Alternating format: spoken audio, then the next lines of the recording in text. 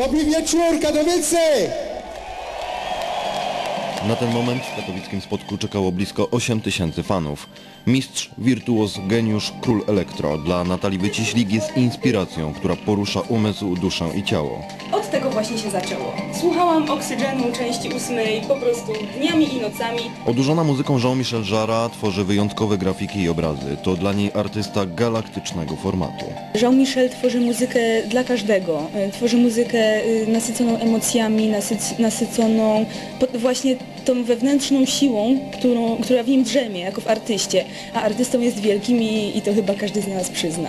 Łukasz Pietraszek mówi, że dla Żara pojechałby nawet na koniec świata. Dziś nie musi, to Żar przyjechał do niego, bo halę spotka widzi ze swojego balkonu.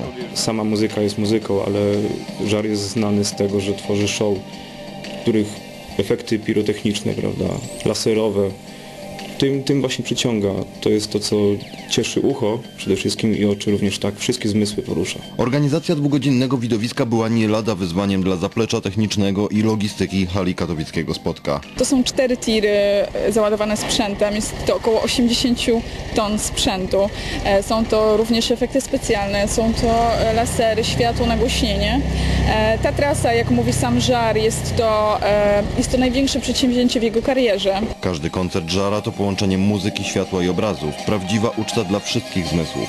Sam artysta, z którym spotkaliśmy się tuż przed koncertem, nie ukrywa, że najważniejsze są dla niego właśnie emocje publiczności. Jestem niezwykle poruszony i zaskoczony, gdy widzę, że ludzie pod wpływem mojej muzyki malują, rysują i że moja muzyka staje się inspiracją i daje im energię do tworzenia czegoś niezwykłego.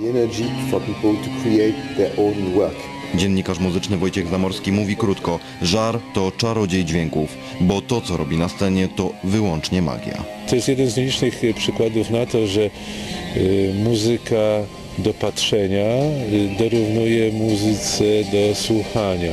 Talent, charakter, praca i niepowtarzalna muzyczna wyobraźnia, której granice wyznacza tylko on sam, Jean-Michel Jarre.